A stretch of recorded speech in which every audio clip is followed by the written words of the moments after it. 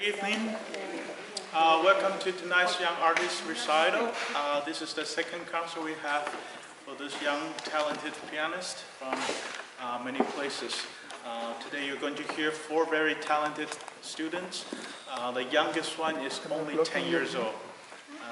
Also, uh, they came here for this piano festival, and they, every day they get piano lessons, master classes, and they get a chance to perform. And next week, we start a competition, and some uh, three of the most uh, uh, accomplished pianists will get to perform in a gala concert with Maestro David uh, in a gala concert next Saturday. So stay tuned and let's welcome our first performer, Hongni Wu.